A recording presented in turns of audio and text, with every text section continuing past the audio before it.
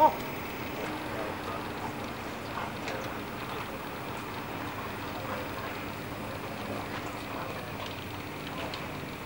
Oh.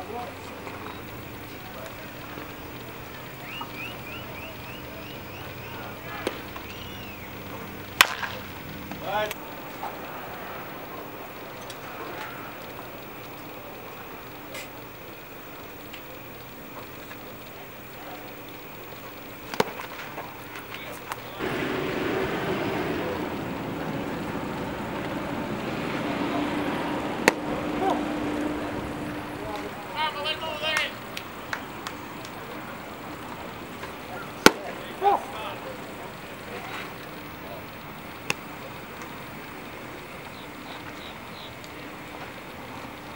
Come on, do what you do.